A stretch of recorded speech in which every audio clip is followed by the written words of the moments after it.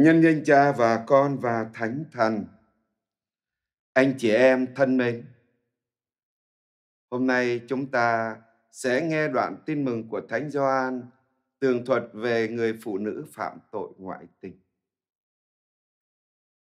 Đoạn tin mừng nói về lòng thương xót của Thiên Chúa và sự rộng lượng của người để nói được rằng sắp kết thúc mùa chay thánh cũng chính là lúc chúng ta gặp gỡ được lòng thương xót và đầy nhân ái của Chúa.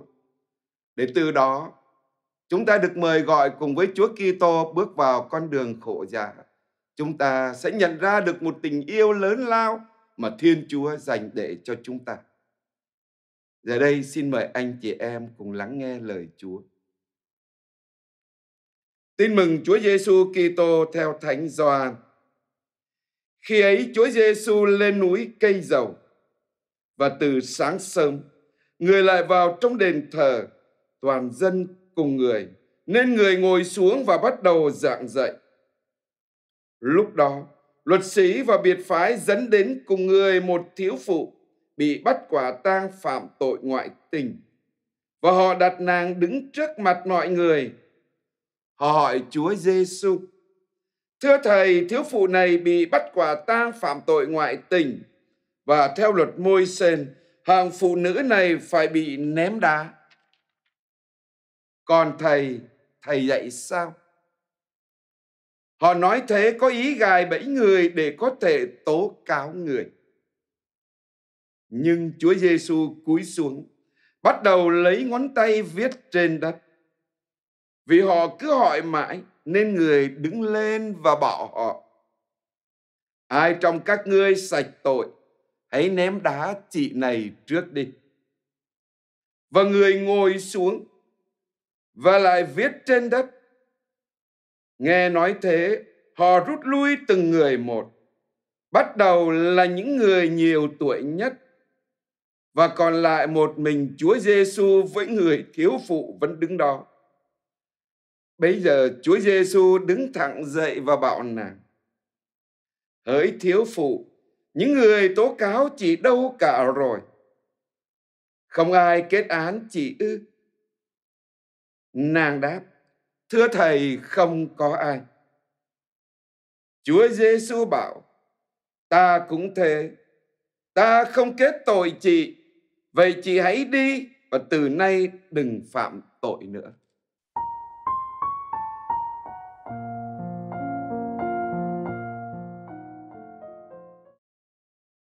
Anh chị em thân mến, một câu hỏi được đặt ra là tại sao một đám đông đằng đằng sát khí kéo tới gặp Chúa Giêsu chỉ vì một người phụ nữ phạm tội ngoại tình bị bắt gặp quả tang? Thưa anh chị em, tại sao thế? Phải chăng đây là một hành vi phạm tội khủng khiếp chưa bao giờ xảy ra trong dân Do Thái? Chắc chắn không phải thế thưa anh chị em.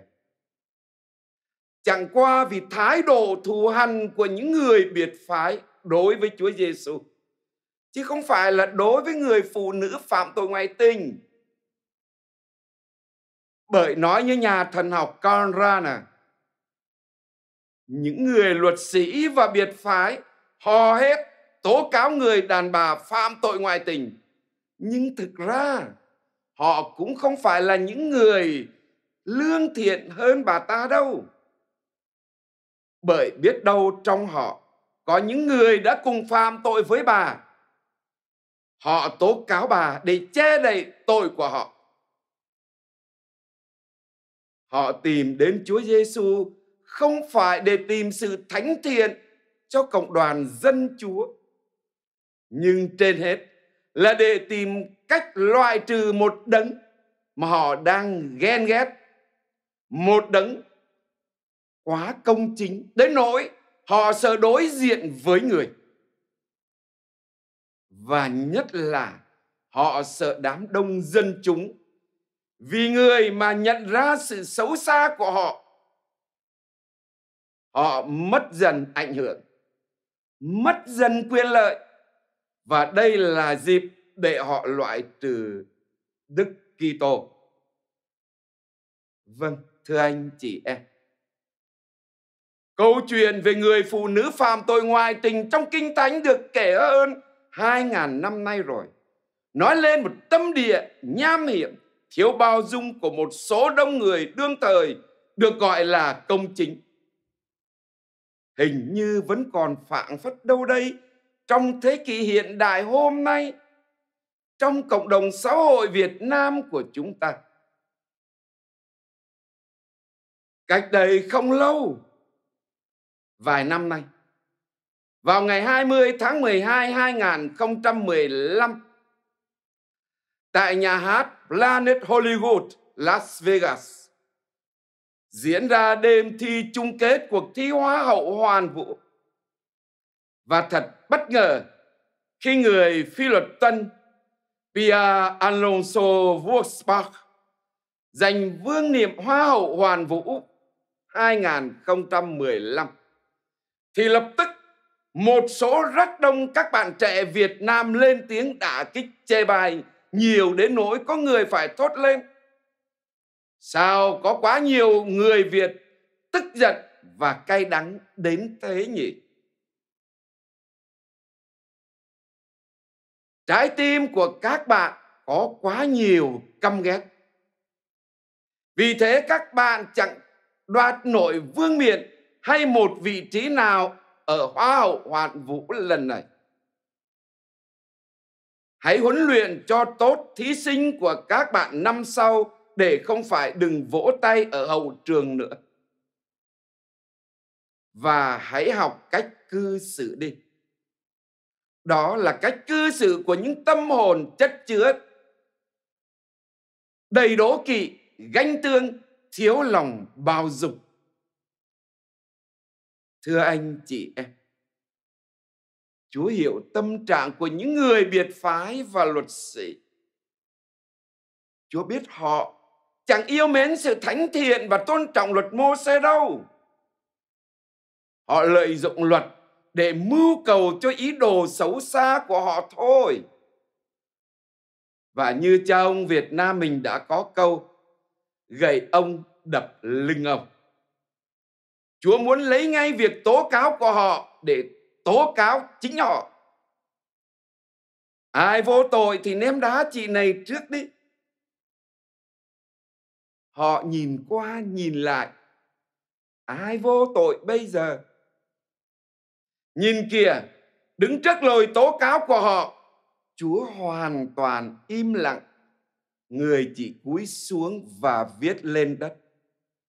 Vậy dường như từng người hiện diện ở đó đọc được tội xấu xa của mình trên đất. Ai vô tội bây giờ để có thể ném đá vào người phụ nữ bị tố cáo là phạm tội ngoại tình.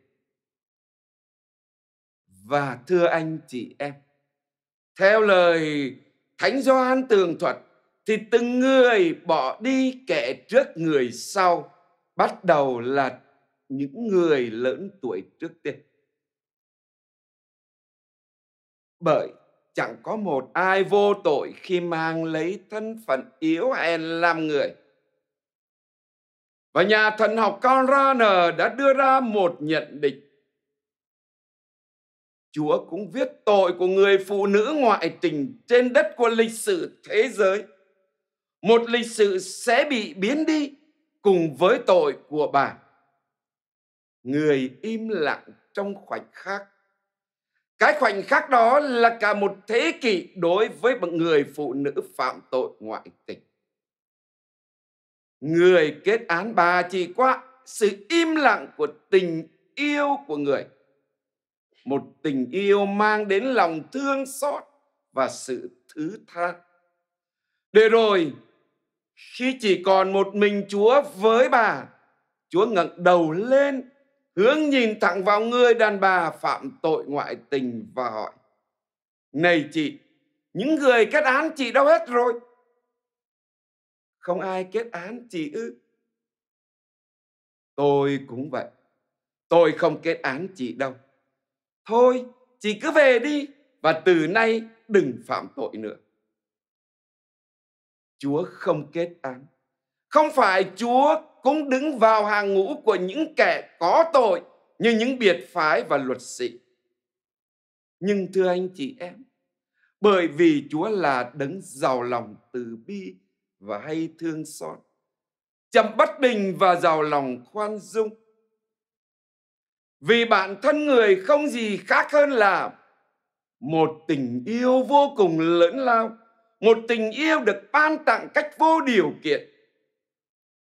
Các mối liên hệ giữa người và những ai tìm đến với người là mối tương quan đặc thù duy nhất và không thể tái diễn. Những dấu lạ người thực hiện, nhất là cho các tội nhân, cho những người nghèo khổ, những người bị gạt ra khỏi lề xã hội, cho các bệnh nhân và những người đau khổ. Tất cả, thưa anh chị em, đều mang dấu ấn của lòng thương xót. Vâng, tất cả mọi sự, mọi người đều tỏ bày cho thấy lòng thương xót. Không có gì nơi người lại thiếu vắng lòng thương xót này.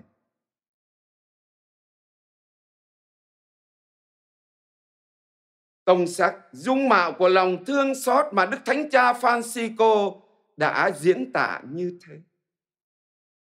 Và Đức Thánh Cha Francisco trong bài giảng chiều thứ Sáu ngày 29 tháng 3 2019 đã chia sẻ như thế này.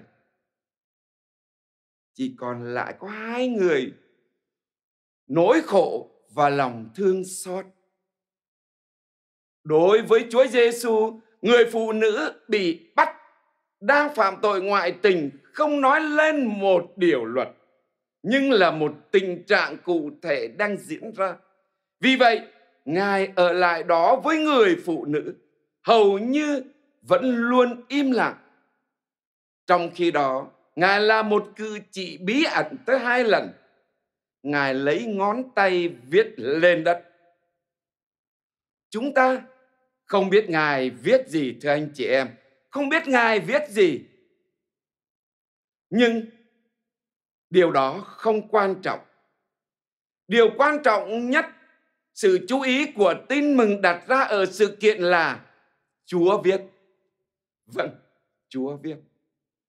Với Chúa Giêsu, lòng thương xót của Thiên Chúa đã nhập thể thì đã đến lúc Thiên Chúa viết lên trái tim của con người để mang lại niềm hy vọng chắc chắn cho nỗi khốn khổ của con người.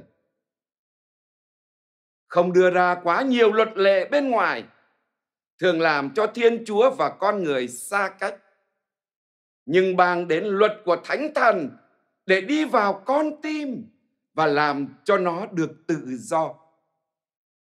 Thưa anh chị em, đây là những gì xảy ra với người phụ nữ. Chị đã gặp được Chúa Giêsu và tiếp tục được sống. Chúa đã nói, chị hãy đi và đừng phạm tội nữa. Anh chị em thân mến, là những người Kitô hữu chúng ta hãy học nơi Chúa lòng khoan dung và nhân hậu này. Xã hội hôm nay có quá nhiều khổ đau vì tính đố kỵ ganh tương. Xã hội đang hình thành một cộng đoàn ẩn chứa nhiều kích động từ đám đông. Từ đó gây ra bao nhiêu là cảnh đâm chém đổ máu. Và người vô tội chết cách oan uổng. Chúng ta, anh chị em, hãy tạo một đám đông thay vì bị kích động bởi những lời phê phán, nói xấu chúng ta hãy hình thành một cộng đoàn để bao dung rộng lượng từ những lời nói yêu thương và từ tấm lòng dung thứ của chúng ta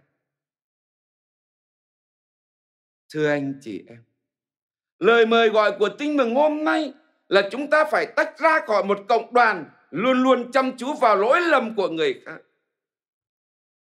Nhưng hãy đến với Chúa Giêsu để học nơi người một sự thứ tha đích thực. Và vì vậy, thưa anh chị em, chúng ta hãy nài xin Chúa cho chúng ta một tấm lòng bao dung, xa tránh sự phê phán. Đừng để chúng ta bị kích động bởi hận thù, nhưng làm cho sự hiện diện của tình yêu được nảy nở ở nơi trái tim của từng người chúng ta. Và nhờ đó cùng với nhau chúng ta kiến tạo sự bình an. Thân ái chào anh chị em.